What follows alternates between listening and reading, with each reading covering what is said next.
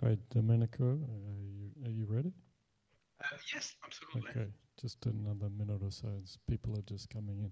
Of course. Listen, I'm, I'm really, really sorry I'm not there. Oh, don't worry, I'm sorry. I mean, it's if this helps. I, actually yes, I, I, did spend six hours in an airport, four hours inside the plane, and I slept in an airport hotel. and then eventually I gave up. Talk? Wow. well, the thing is that eventually I had to give up this morning because the, the, they had nothing for me, and uh, the only flight would have arrived roughly now. Okay. So. well, we're, we're grateful. I mean, but but I am really really sorry. I mean, uh, I, I seriously would have loved to come and, and discuss with you, you and you guys. I mean, really. Okay. Well. All right ready to go. So, absolutely. Um, welcome.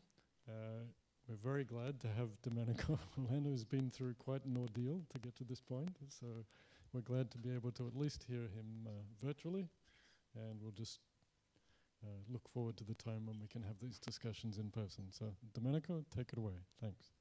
Okay, thank you.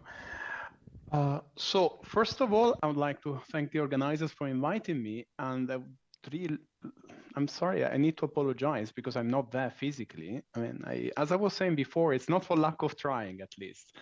Thing is, uh, I, I did spend a ridiculous amount of time in an airport, and, I, and but nothing was possible. Anyway, uh, today, what I would like to uh, to tell you about is some work that I've been doing together with my collaborators for quite some time, and it's related to what we call the large charge expansion, and uh, well, given this meeting, it's I stress a bit what we can learn from resurgence on large charge expansion and maybe what we can uh, learn about resurgence from large charge expansion. So first of all, I'd like to introduce you know, my collaborators. Uh, as you see, it's we, we pretty much delocalized, which makes for some very interesting Zoom calls sometimes.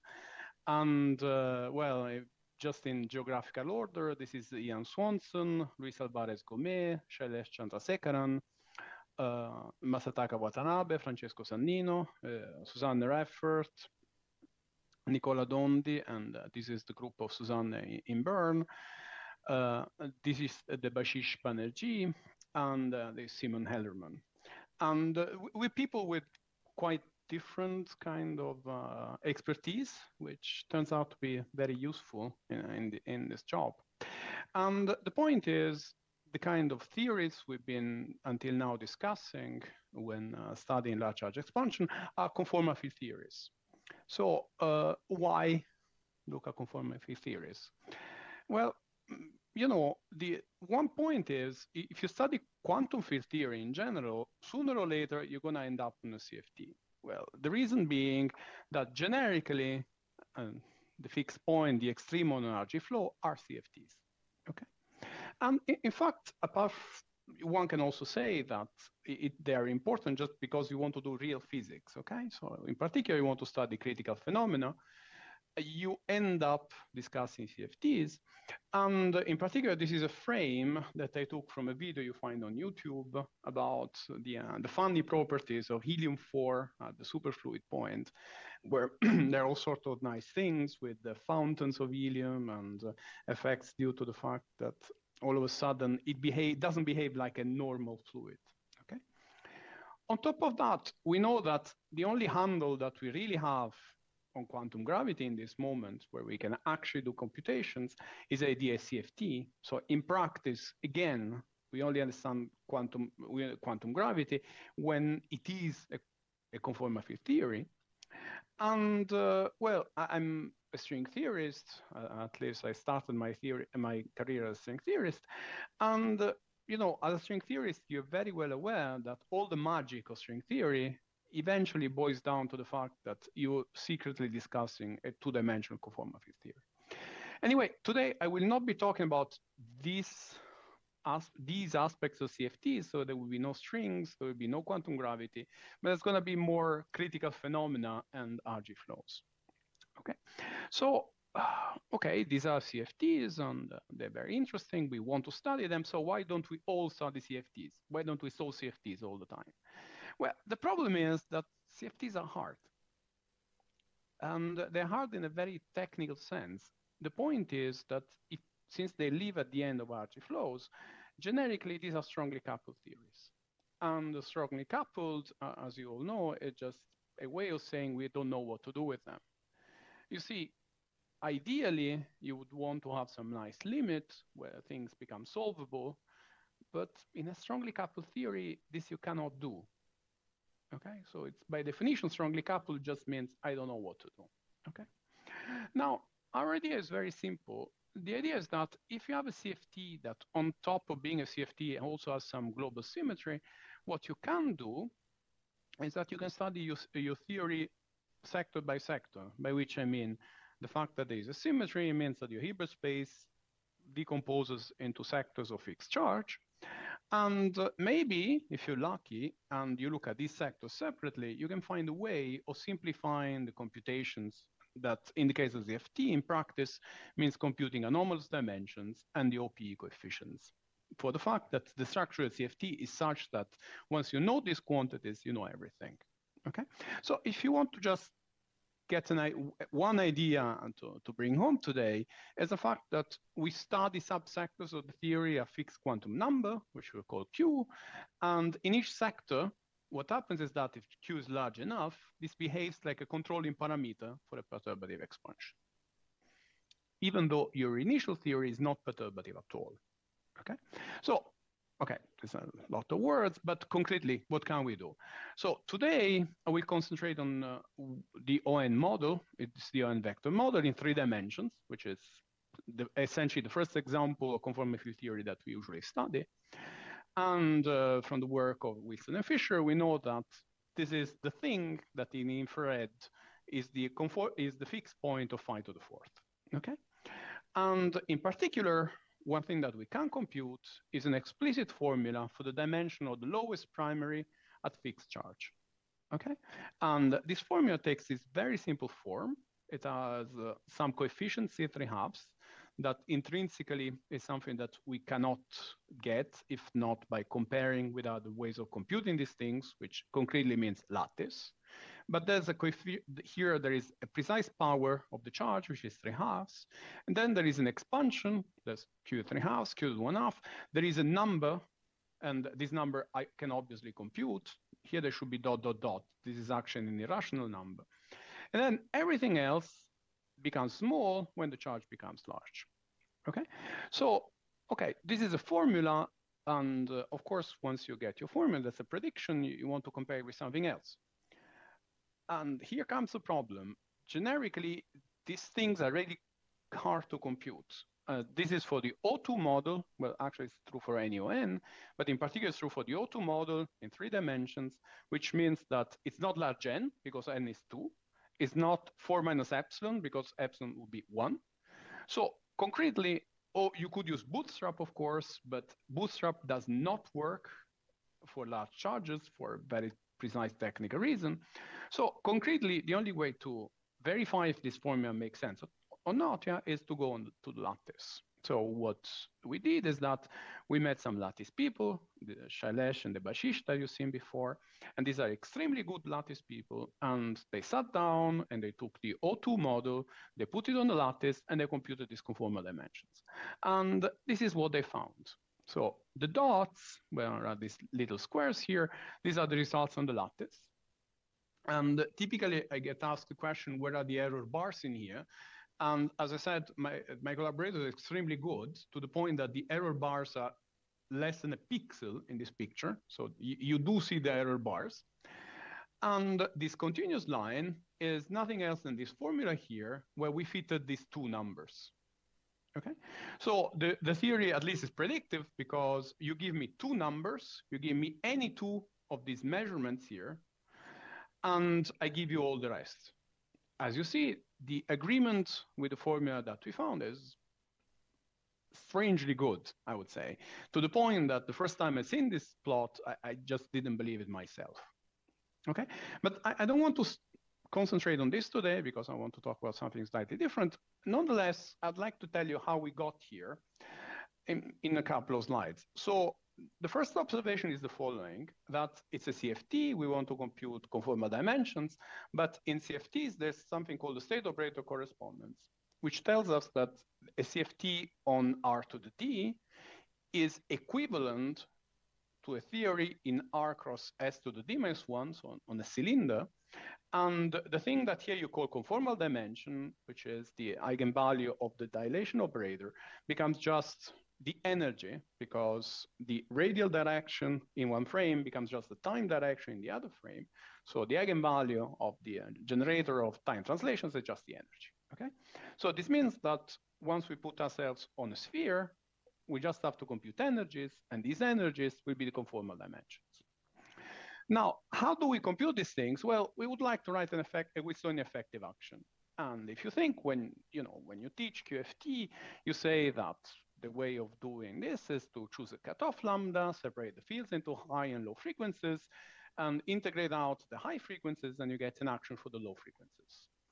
And when you teach this, usually your students go like, yes, yes, yes, makes a lot of sense.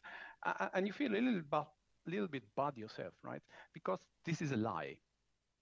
This is not something you can do. If you could do this, you just solve the theory, be done.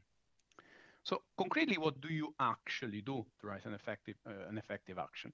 Well, you need to understand the physics, okay? So uh, to understand the physics, in practice, the first step is to understand what are the scales of your problem. And, and here you could be a bit worried because I said it's a CFT, so there should be no scales, and that's correct, and we're gonna use this a lot. However, you can put scales for one reason. One is that you can put your CFTs in a box. Now, does it really make sense? This is a bit of a tricky question in the sense that CFTs are invariant, well, at least the way I'm, um, uh, these CFTs I'm discussing are invariant under Weyl transformations, which means that you can always change the metric so that the box is not a box. But we know that we can pick a frame, so in particular the cylinder frame, and then your CFT really is living in this sphere, which let's say has a radius r. Now, this gives you one scale, and another scale is fixed by the charge. Because if you pick a sector of fixed charge, this means there's going to be a charge density, which is a dimensionful object. Which means that now you have a problem where even though the theory itself has no scales, now your problem does have scales. It has two scales in particular. It has one scale, which is the low energy scale, which is one over R, and another scale that is something you can control because you can decide what is the value of Q, and uh, you can pick it well, if Q is, Q is in any case larger than one, but if you pick Q large enough, this becomes a high energy scale. And then by general arguments, essentially coming down to chiral perturbation theory, this means that if you write an action that with a typical energy that is in between these two scales, by scale separation, if Q is large enough, you're going to get an effective action which is weakly coupled and perturbative in the ratio between q to the 1 half over r and 1 over r, which is essentially means which essentially means that you have perturbative control as long as q is large enough.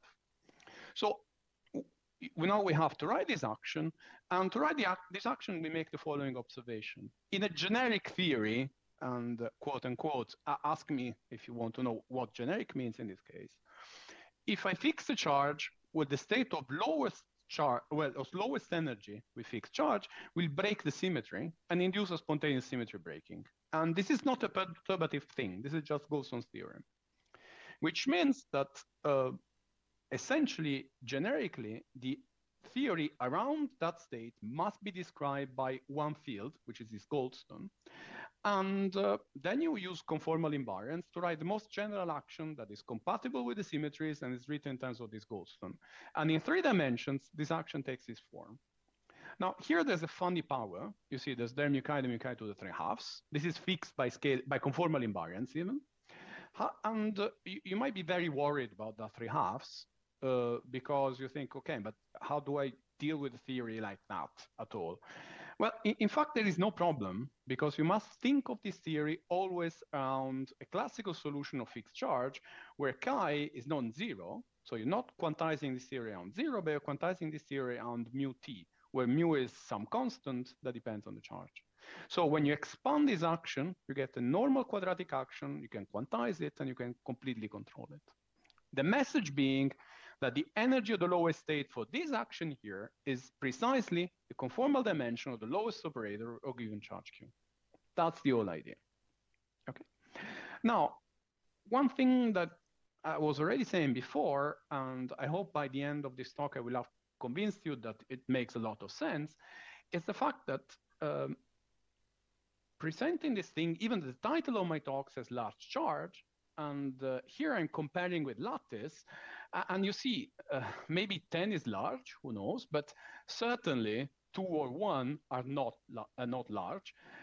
However, you see the continuous line, which is the one obtained in the large charge expansion, is strangely close to the result. So somehow this is a little bit too good to be true.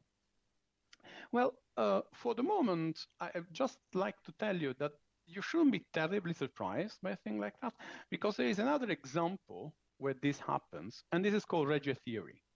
Okay, so if you study re Regge trajectories, what you find is that the prediction of the theory is a leading order prediction in the spin. Okay, with so the trajectory trajectories shouldn't be just linear in J, but they should have corrections. However, you go experimentally, this is a real plot. and these, are, these are really particles measured, and you see that they just come down linearly till one, they spin one, okay? And, uh, you know, it, it, works so well that essentially people looked at these things and invented string theory just to justify why these things was working. So somehow, you know, a bit more generically, there's some sort of uh, unreasonable effectiveness of this uh, effective theory story. Okay, so this is the end of my introduction, and uh, there's a slide. I, am going to discuss only the O(N) model, but this is just to tell you that there are many things that people have been doing and are doing uh, using this kind of approach, mainly based on the existence of effective field theory and fixing the charge. And, uh, you know, there's a lot of literature already and things that are really happening every day. However, just to, to recap a moment, what I'm done here is that I've started from CFT, where there's no mass gap, no particles, no Lagrangian, picked a sector, and in this sector, the physics, the claim is that the physics is completely described by semi-classical configuration and little fluctuations on top. Uh, and Domenic even though, Domenico, yes. can we interrupt you for a question? Of course, please? of course. Sorry. Please. So, Andy Nadsky. Hi, Hi can you hear me? Yeah, yeah sure. Oh, okay two questions actually. So the first question was on your plot where you had the fit and against the Monte Carlo data. Yeah. The fit. Do I understand right? That was the explicit formula that you wrote before for the expansion, starting with q to the three halves. That's correct. So how many terms in that expansion did you use? Thank you for asking the question. Two, three actually, two or three. And by the end of the talk, I'll tell you why. Uh, at this point, it's just that we just tried with as many terms as we could, and we looked for which was the best fit. And the best fit is obtained, you, you know, there, there's this story of if you put too many, it gets too good, and so on. And the best fit is obtained between two and three terms. Okay, and the other question is, can you say again, is there a simple physical reason why the theory becomes weakly coupled at, at large charge? Of course. So the simple physical reason is the following. Uh, let me just go back a slide or two. Uh, is this. So the point is, um, now you fix the charge, okay? So uh, if you fix the charge generically again, there's going to be a, spontaneous symmetry breaking for the simple reason that the state of lowest charge is not invariant under the, under the transformation, of course. Okay. So what you expect is that your physics is described by a Goldstone field around whatever is this solution. Okay with that? Okay. Good. Now, you have to think of this effective field theory really in the same terms. Sorry, I was trying to go back. Really in the same terms as when you think of chiral perturbation theory. You have one low energy scale, which in this case is the size of the sphere or the cylinder, and one high energy scale, which is uh, the charge density. Now, generically, what happens is that if you write an effective, an effective field theory, for energies in between these two, there is automatically the uh, uh, controlling parameter of the perturbative correct of the perturbative expansion that is given by the ratio between the high energy scale and the low energy scale. This is pion physics. This is literally pion physics. Okay? Okay. Now, are you okay with that? Yeah, yes, yes, thanks. Okay, okay, sure. Uh, if there are other questions, it's a great moment. Huh?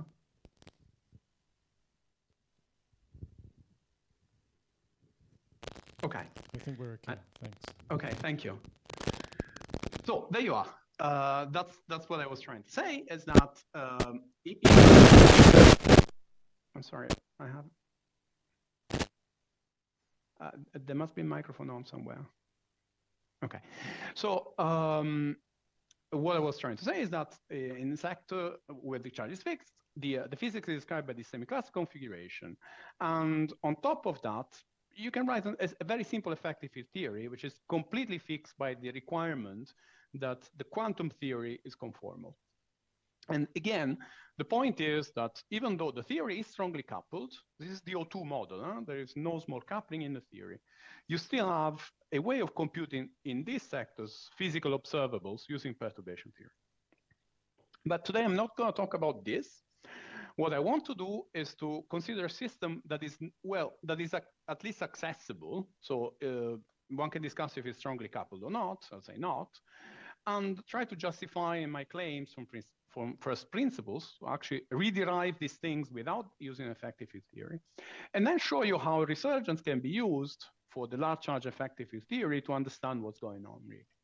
So in particular, I will concentrate on the O(N) model for large N, and what I will find is that there is an, a well-defined asymptotic expansion, and I show you why the expansion works also small charge, and compute all these coefficients that, in the case of the O(2) model, I have to actually fit on the lattice.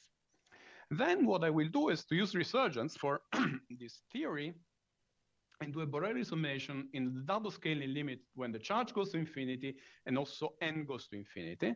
And I do it there because that's where I have actual control over the theory. And you will see that there's going to be a natural geometric interpretation for the non-perturbative effects. And this geometric interpretation will give me something that looks a lot like a general structure for the corrections for the effective field theory. And in the last slide, I will try to answer Andy's question of why did we pick two or three? Well, in the lattice, it's just because it works. And in last slide, I'm going to show you that it's very reasonable that two, three coefficients are the right place to, to break to get an optimal truncation. Okay, so this is roughly the, the end of my introduction. So from now on, I'm going to be much more explicit. I'm going to show you formulas, and um, I'll stop with the, with the pictures. Oh, oh, okay, once more. The first thing I'm going to talk about what happens at large n versus large charge. So as I said, uh, I'm concentrating on what we call the O(N) model, which is the, uh, the infrared fixed point of phi to the fourth, okay? And we know that we want to study this thing on the cylinder so that computing the energies gives us directly conformal dimensions. So what I'm considering is the phi to the fourth model for n complex fields on R cross some surface, which is S2, but can be anything. And uh, we finely tune the mass term here so that in infrared, we go to a conformal fixed point.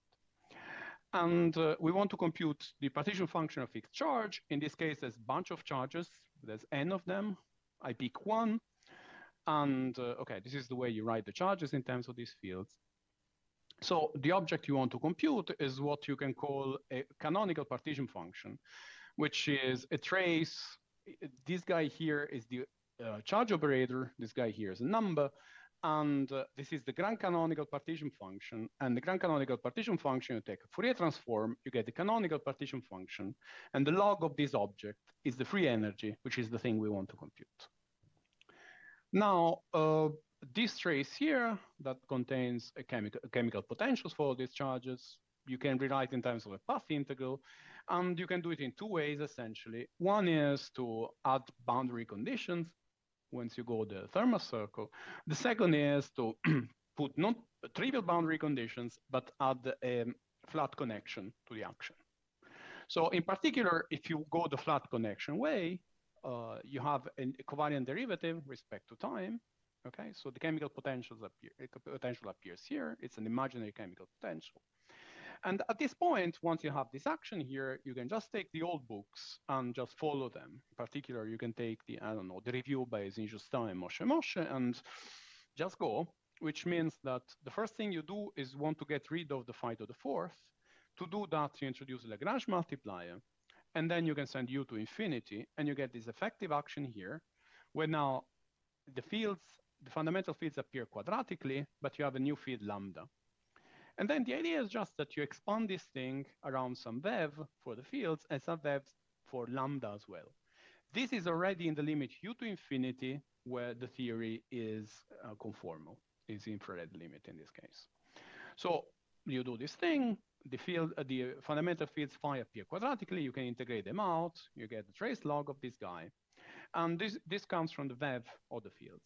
So this thing, now you can interpret as a non-local action for lambda. I want to stress this is these are all uh, classical results. I mean, you find them in the books. There's no problem about that. But this is where the large N expansion comes about, because then you want to expand this trace log in order by order in 1 over n. And if from here, you can compute the free energy, and the free energy is what then you identify via state operator correspondence with the conformal dimension. Okay. Now you take limit beta to infinity, and you have to regularize this trace log, uh, this determinant, and we do, for example, in zeta function. So we introduce the zeta function on the manifold, on the um, you know the, the, sigma that we had uh, that where we are putting the theory. Concretely, will be the sphere at the end. And then we write gap equations, which means that we actually just uh, minimizing uh, this expression here with respect to m, with respect to a, and respect to theta. Okay, so if we do that, we get these equations here. And uh, okay, you see there's a zeta function that appears. This is something that you can control. There's no problem here. You can compute everything. And you find in particular that there is a relationship in this model between the expectation value of the Stratonovich field, so the, of the collective field that you have introduced to get rid of phi to the fourth, and the theta variable, which was the one that makes you pass from the grand canonical to the canonical ensemble. So you get these equations and you can solve them. And uh, you know, you mix a bit the ingredients, and what you find is that this m actually is a function of q over n. So automatically from these equations here, you realize that the good parameter that appears in this problem is not n, is not q, but is q over n. Okay, so you turn the crank, you compute the free energy, again, in terms of this zeta function here, you put in the gap equations, and you get this very simple formula. So what you find is that the free energy, which again, computed on the sphere will be the conformal dimensions, it's given by this thing written in terms of a zeta function for some value of m, and this value of m is the one that solves the equation that is written here. Okay, so you have a, a system of equations, and you can expand them in series, for example. You can expand them in large Q over n. We will see a little bit, eh, eh, we'll see in a moment that, just a Seeley DeWitt expansion. And uh, then you solve term by term. So when Q over n is large, you find that this f of q will be given by this formula here. I'm coming back to this in a moment, because in this particular problem, you don't need to fix Q over n to be large, but you can also use Q over n to be small. And you find another expansion for the conformal dimension, which is again the free energy. And you see, this is something a little bit more familiar, because when this is small, the theory is essentially perturbative around the free theory, which means that the leading order you get a term, you get one half, which is the engineering dimension of the fundamental field phi, and then you get a bunch of corrections. And you can actually compute these corrections independently, just writing Feynman diagrams. And uh, Jack and Jones managed to get to order to five loops, I think here. And you can verify that term by term, this expansion here that you get just by expanding the zeta function just corresponds to, you know, exactly what you'd expect. This is uh, one. This is a one loop result already. These are two loops. These are three loops, and so forth and so on. Okay, but now let me go back to the other extreme. Well, there's a big, a long story here, but not for today. Let me go to the other extreme when Q over n is large, and that's what we find. Okay, so there's free energy. Again, it's conformal dimension. So what did we say from the effective theory? Well, we said that a leading order, there had to be something going like Q over n to the three halves. Subleading, they had to be one off because it goes one by one. Now, in our effective theory, the coefficients in front of these two things we could not access, but here we can compute. So a leading n, the first one is 4n over 3, the second is n over 3, and so forth and so on. I can compute everything. And if I play a little bit, well, I can observe that actually the, the numbers start going up. Okay, so this is clear, it's telling you that there is that this is an asymptotic expansion, and I'm going to discuss it very much in detail uh, in, in two slides or three. Another thing I wanted to stress is that uh, there, there is, uh, if you remember, in this formula I've written before, there was one number I could actually compute, this 0.093 so on. Uh, it's a quantum effect in effective theory, which is under control. We can find it also here. We have to do a slightly different computation, which is essentially, if you remember, I got here by integrating out all the fields. If you integrate them, all of them but one, well, you find also that uh, universal number. So that's a nice way of reproducing this prediction of the effective field theory, just from an explicit computation large. Now, of course, you should ask, uh, was it all of was all of this necessary, right? So I, I told you I have an effective theory, everything works. Why, why did I have to compute all this stuff? Well, because now, I, again, I can compare with lattice. Before I showed you what happens with the O(2) model, this thing is supposed to be the O(N) model for large n, so now these coefficients here, I can actually compute, at least I have the first term. And so what we did again is that we went to lattice people and asked them, okay, now that you've done the O(2), uh, can you do the uh, O(4), O(6), O(8), and so on? And uh, the, in fact, they did. and this is what they found. So this dotted line here is just the leading term large n, so this is the prediction for the O(2) model, or 4 model, or 6 model, or 8 model, or the first coefficient. And these are the results on the lattice. So it's, of course, it's not as great as before. Uh, here n should be large, and on the other hand, n is 2. But, but you see, I mean, at least it seems reasonable. Same for the subleading term, seems extremely reasonable as well. Okay, so now that we have the large n the large n computation where everything is under control, that's the good moment to see what resurgence can do for us. So concretely, the question is, can we understand the structure of these terms that we have found explicitly one by one by doing a resurgence calculation? So let, let me just recap a moment. The, I have the O2n model criticality in one plus two dimensions. So uh, on some manifold sigma, in the double scaling limit, n goes to infinity, q goes to infinity, and q over n is fixed. The quantity I'm interested in is this f sigma, which is actually a conformal dimension, and it's a function of a zeta function computed, oh, I called it m before and it's called mu, but mu is simply the solution to this other equation. Now, if you have a little bit of an eye, you realize that what I've written here, and it shouldn't be surprising, is a Legendre transform. So in fact, f sigma is nothing else than the Legendre transform of this zeta function here. Uh, so this is a fancy way of writing Legendre transform, but it's, all to say that the free energy of fixed charge is Legendre transform of what you'd call the grand potential in thermodynamics, which for this particular model can be computed in terms of the zeta function. Now, this zeta function is nothing else than a zeta function for the operator Laplacian plus mu squared, which is nothing else than the, the Mellin transform of the heat kernel. When Q is large, also mu is large. But if mu is large here, it means that t has to be small, which means that this integral here will be dominated by small t. And this is nothing else than the classical Seeley-DeWitt problem. What I'm telling you is that in the large n case, the large charge expansion is literally the same thing as the expansion of the heat kernel for small t.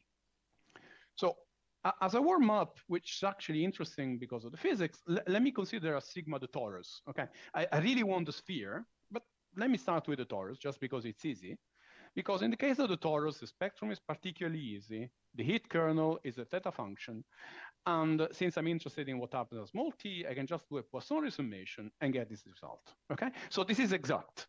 It's the leading n result of the O(N) model on the torus. That's it, okay?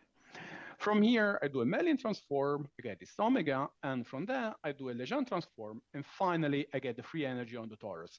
Now, the free energy on the torus is not the conformal dimension, but it's close enough, at least in the form that we find. So what you see here is that you get a perturbative expansion, which you know, it's a Seeley DeWitt problem. It depends on the curvatures. On the torus, curvature is zero, so the perturbative expansion has literally one term, which is the q to the three halves. And then you have a series of, uh, literally a series of uh, non-perturbative terms, which are controlled by square e to the minus square root of q. Okay, and this is just coming out from doing a Poisson resummation and uh, playing a little bit with Legendre transforms. Sorry.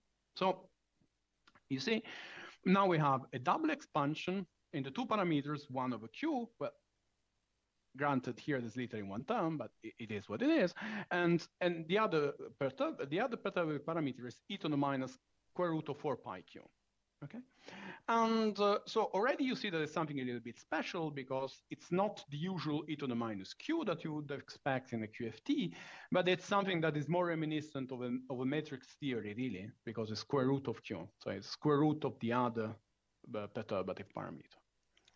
Now, this is what you should expect, but the thing that you really want to compute is the sphere, okay? Because the sphere gives you conformal dimensions. You can essentially play the same game. So you write explicitly uh, your partition, for your heat kernel, and then you do a Poisson resummation, and you get this form here. And uh, well, you look at these terms, you see the Bernoulli numbers, and unsurprisingly, this thing here is divergent now. So in the case of the torus, there was essentially one term. Here, on the other hand, I have a divergent expansion, which diverges like uh, diverges like n factorial. Okay, and as we all know, this is reflected into the existence of non-perturbative corrections. Now, uh, we're talking, I mean, this is a meeting about resurgence, so I don't need to tell you all the story. The next thing to do is to ask Monsieur Borel what to do with it, right? And uh, Borel, of course, tells you, no problem, you just divide by the appropriate gamma function, then uh, you take a Laplace transform, and you're gonna get something, okay? And uh, as we all know, there is this step here that is tricky because what can happen, and in fact does happen in this particular problem, is that you might get poles on uh, the co integration contour. That's literally what happens here. But this is nice because uh, from our point of view, we now that we know that there are the poles, we know, well, at least we have a handle on the non-perturbative effects that we expect. And remember, the torus already told us what to expect. So how do we study that? Well, the idea we all know is to add a little bit more ingredients to see how this non-perturbative stuff works. And uh, the idea is to rewrite the heat kernel just as a, as a path integral. So we will have the heat kernel for the sphere, or in general manifold, and this we can un understand as a free quantum particle moving on this surface. In this case, moving on the cylinder.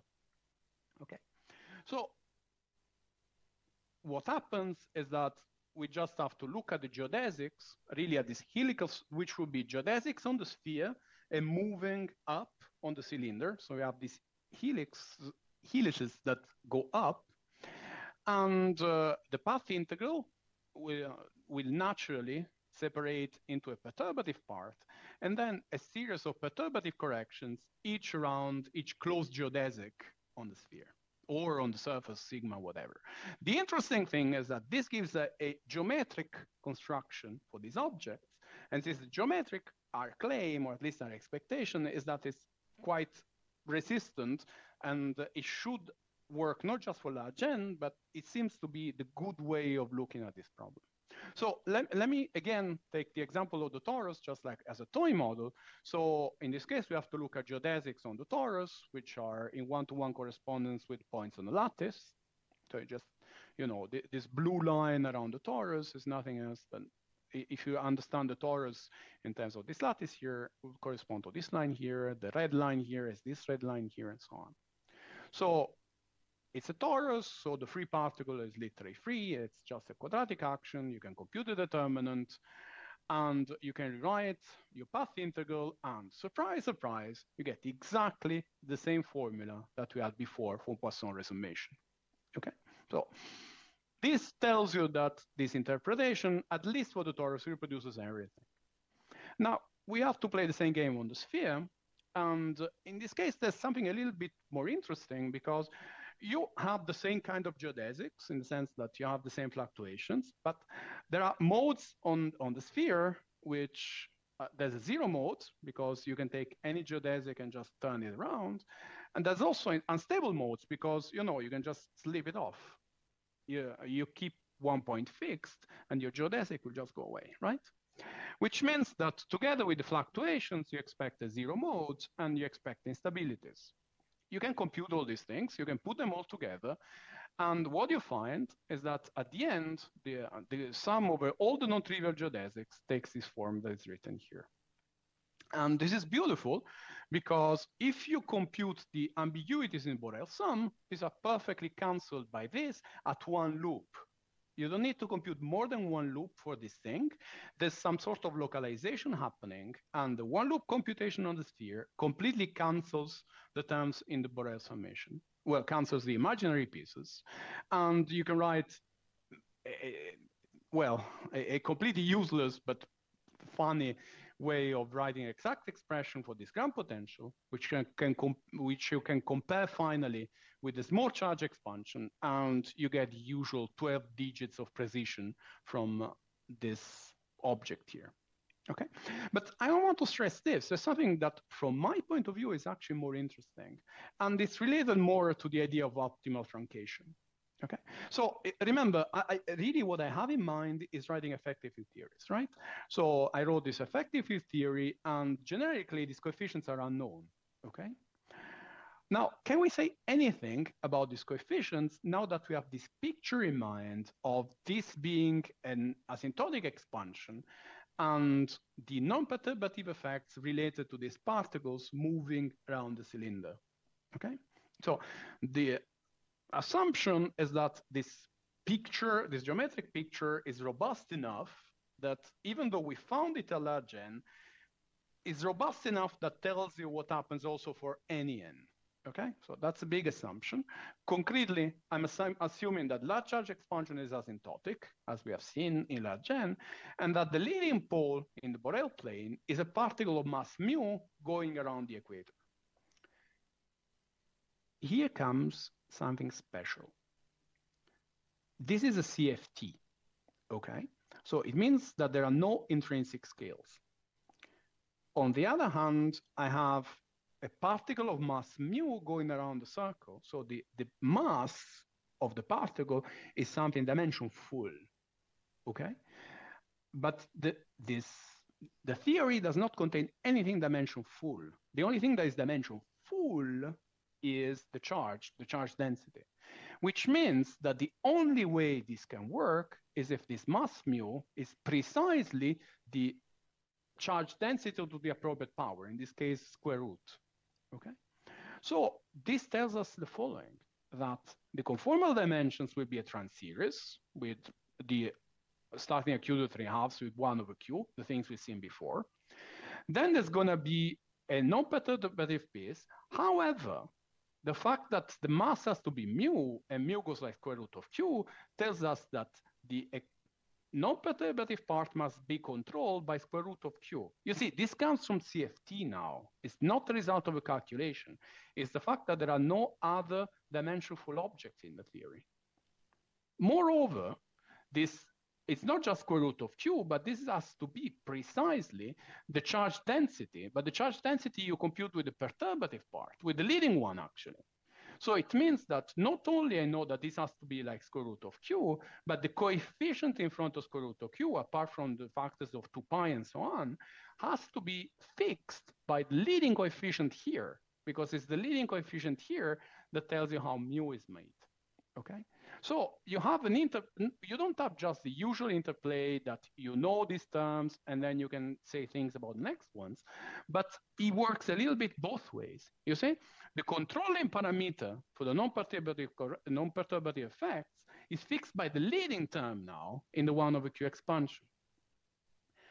On the other hand, the fact that the non-perturbative correction goes like e to the minus square root of Q tells you that all these terms that you don't know because the effective theory does never tell you the coefficients in front of the terms, actually, in order for this to be consistent, they must diverge and they must diverge like 2n factorial. And the 2, it's because there's a square root here. Okay, so you, you really have these two things that because this is not a, a generic theory, this is a very special theory, it's a CFT, and this means there are no scales. And then altogether, this means that the perturbative and non-perturbative part have to see each other because otherwise the theory wouldn't be consistent. Okay. So mm, the first thing you can do looking at this is to estimate for a generic now theory, not just for large n, what is the optimal truncation? So how many terms you actually need, right? That's what Andy was asking before. And well, in this case, what you find is that the number of terms has to go like square root of q with a coefficient here, which is essentially fixed by the first term in the perturbative expansion. And the corresponding or uh, error has to be, must go like e to the minus square root of q. And you see, in the O(2) model, where we did have the results on the lattice, we can compute these coefficients, just well, compute, we just fit them. And we find that the coefficient that appeared there is roughly one third, so that n star, so the optimal truncation is at order square root of q, and the error that you make is order e to the minus pi square root of q, okay?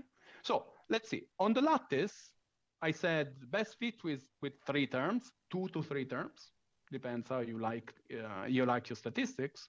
A q equal to one here, the error between the line, the expectation, and the actual measurement is of the order 10 to the minus 2. At q equal to 11, the error is order 10 to the minus 5.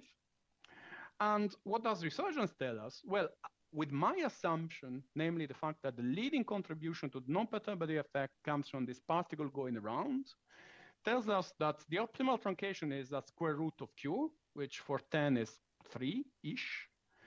And the error that you make is of the order of e to the minus pi square root of q, which for 1 is 10 to the minus 2, and for 11 is 10 to the minus 5.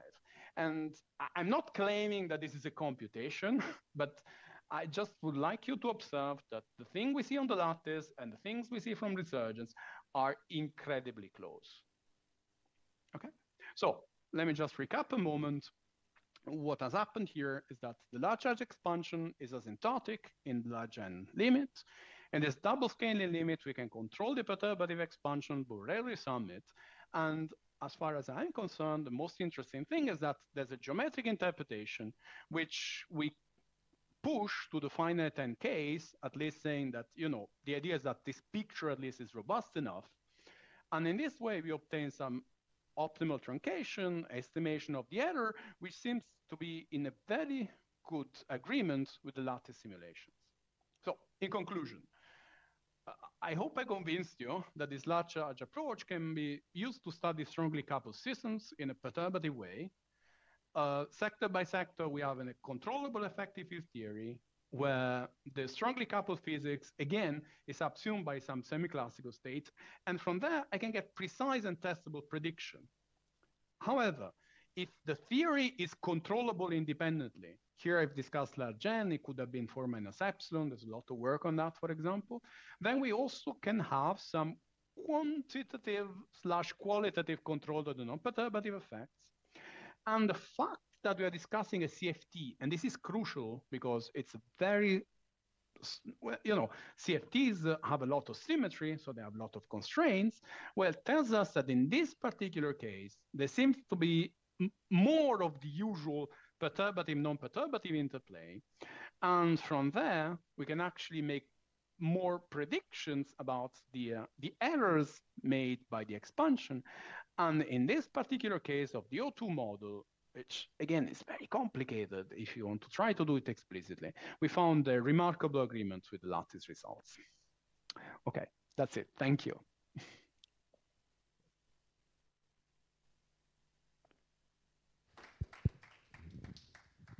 Thanks, Domenico. My pleasure.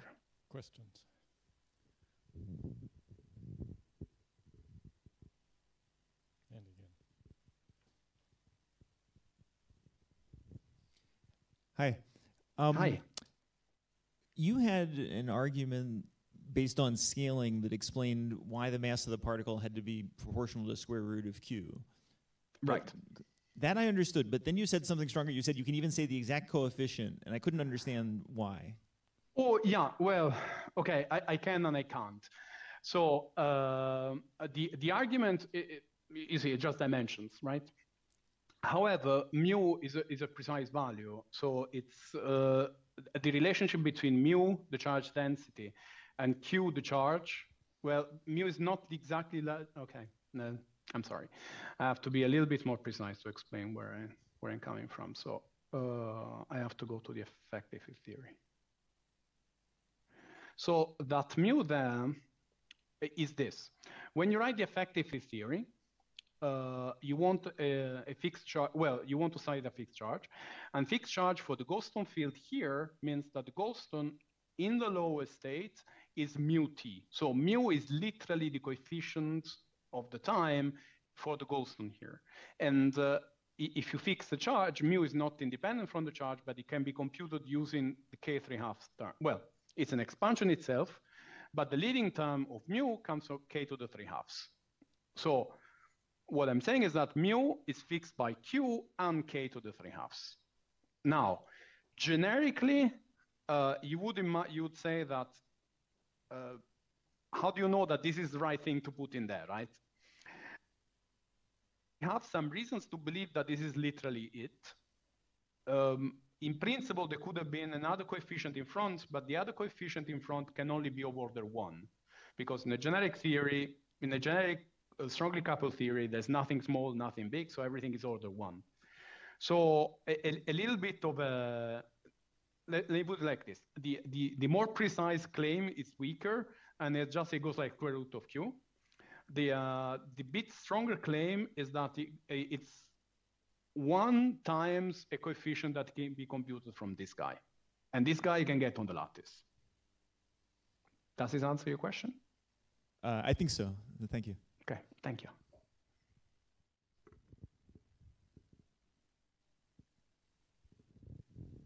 Dan- Daniele.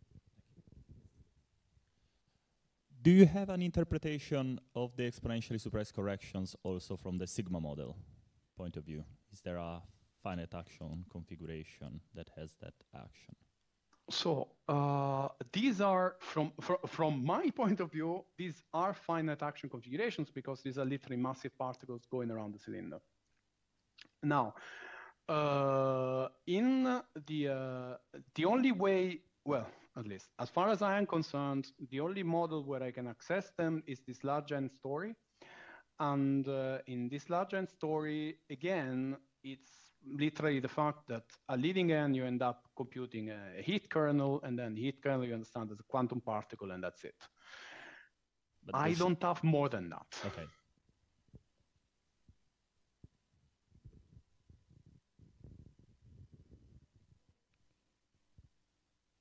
Anybody else? Okay, maybe I'll ask a question. If you go to a general Riemann surface instead of the sphere, does something interesting happen? I don't know. Well, yes.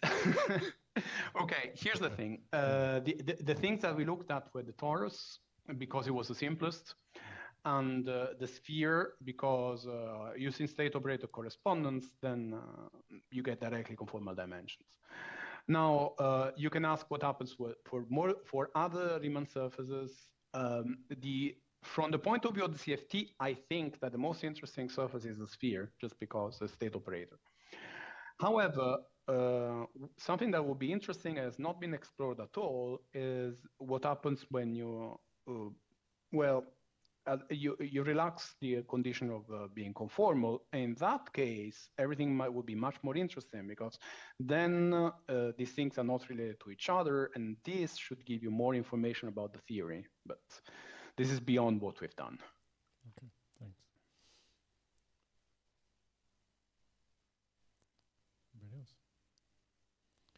Okay, well, let's thank Domenico again, and thank you, Okay. Domenico, for taking such trouble for the talk. Thank you. No, it's been a pleasure. Thank you.